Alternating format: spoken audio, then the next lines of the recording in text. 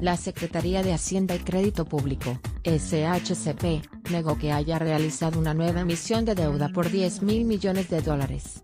No se emitió deuda alguna sino que se presentó una declaración de registro de México ante la Comisión de Bolsa y Valores de Estados Unidos, solo para actualizar la capacidad para emitir valores en el mercado de inversionistas estadounidense. Es un tema regulatorio que no implica cambio alguno en el programa de emisiones ya aprobado y en marcha, explicó a sin embargo la dependencia vía correo electrónico. Hacienda precisó que la declaración de registro que hizo México ante la Comisión de Bolsa y Valores de Estados Unidos, SEC, por su sigla en inglés, no implica que se vaya a emitir o contratar débito de inmediato, sino que es un requisito regulatorio establecido por las autoridades financieras estadounidenses para la posibilidad de una contratación futura. La dependencia recordó que la emisión de deuda externa debe de ser aprobada por el Congreso de la Unión. Toda la deuda externa la autoriza el Congreso de la Unión. Eso quiere decir que nadie en la Secretaría puede ir a conseguir deuda. Lo que se está haciendo ahorita es registrar por regulación la posibilidad en un futuro de bonos por hasta 10 mil millones de dólares, pero si el nuevo gobierno no quiere no los usa.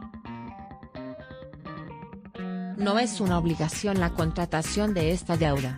El pasado 17 de julio la agencia de noticias estadounidense Reuters publicó, México registró ante la Comisión de Valores de Estados Unidos, SEC, una emisión de deuda por hasta 10 mil millones de dólares, reportó este martes CIF, Servicio de Información Financiera de Thomson Reuters. Las calificaciones de México son a 3, BBB y BBB según Moody's, Fitch y S&P, respectivamente.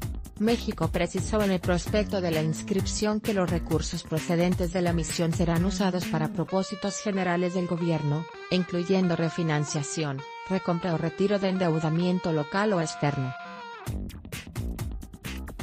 La información generó inquietud y la Secretaría de Hacienda no emitió ningún comunicado en su página que confirmara o desmintiera la noticia publicada por Reuters. Incluso, el pasado 23 de julio, Andrés Manuel López Obrador, virtual presidente de México, asumió en rueda de prensa una contratación de deuda. Tenemos que analizar, esto lo va a ver el próximo secretario de Hacienda, qué destino se le va a dar a ese dinero, cuánto de lo que se va a ejercer en este rubro, punto punto punto. Siempre que se contrata deuda se tiene que saber el destino del dinero, siempre es para qué se va a usar el recurso, además yo les recuerdo a ustedes que es facultad del Congreso autorizar la contratación de la deuda, por eso no queremos adelantar nada porque necesitamos tener toda la información, dijo en el minuto 32 2.48 del vídeo a pregunta expresa de una reportera, en la columna canallada de ER contra AMLO, publicada el 23 de julio en el Universal, el académico Ricardo Rafael habló del tema de la deuda, debo poco más de 80 mil pesos, y también usted que, está leyendo esta columna, Enrique Peña Nieto nos está dejando a cada mexicano con una deuda sobre nuestras espaldas.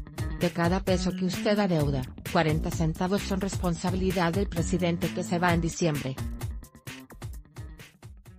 Ya era ofensiva la cantidad, pero hace unos días la SHCP pidió 200 mil millones de pesos más, es decir que se agregaron a nuestra cuenta personal otros 600 mil pesos. No fue hasta el 25 de julio cuando el titular de la dependencia, José Antonio González Anaya, aclaró que el registro ante la Comisión de Valores de Estados Unidos realizado por el gobierno mexicano no implicaba una nueva deuda. Yo quiero aclarar eso porque ha habido mucha confusión. No implica nueva deuda, como anunciamos en su tiempo, el programa de financiamiento de todo el 2018 se terminó el año pasado, y ahora esto solo fue un tema de registrarlo ante la Comisión en Estados Unidos no implica nueva deuda y cualquier operación que se haga lo que hace es refondear las necesidades de financiamiento del próximo año, dijo el funcionario a pregunta expresa de la prensa reunida en el inicio de operaciones de la Bolsa Institucional de Valores. Los últimos comunicados de Hacienda no hacen mención de la declaración de registro que hizo México ante la Comisión de Bolsa y Valores de Estados Unidos.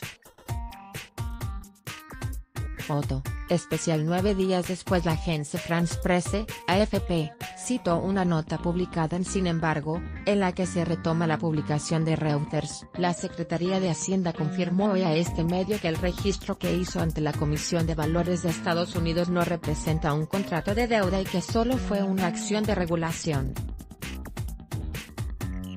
Explicó que este registro también sirve como un respaldo ante inversionistas y calificadoras, que saben que en caso de ser necesario, México podrá acudir a estos préstamos.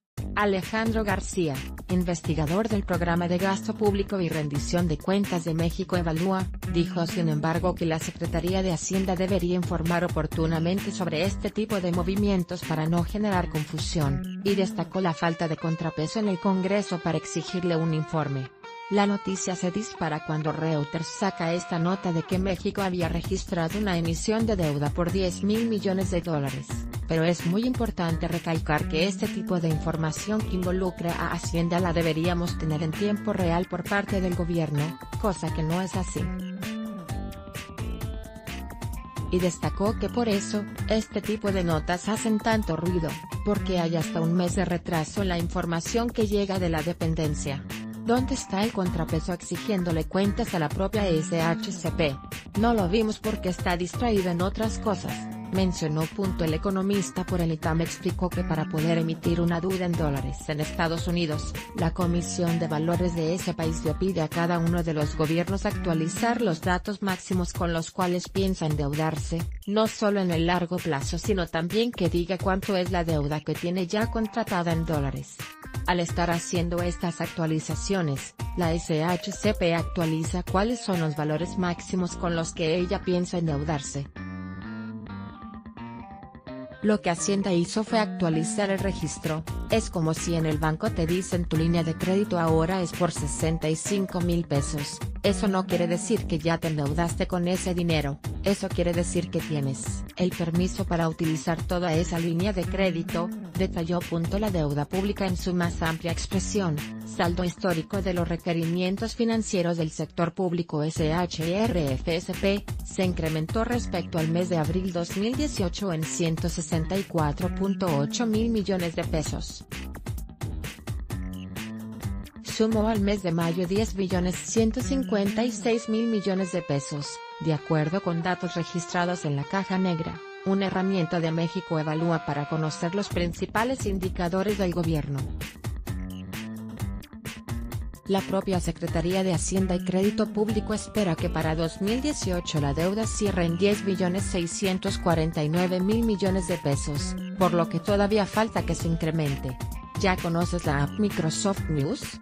Descárgala en tu Android o iOS clic, para ver el vídeo completo volver a reproducir vídeos 00116 configuración desactivado HDHQS de lo Microsoft News. Sigue tus intereses en donde sea Microsoft News. Sigue tus intereses en donde sea fotos ver más videos compartir compartir tuitear compartir correo.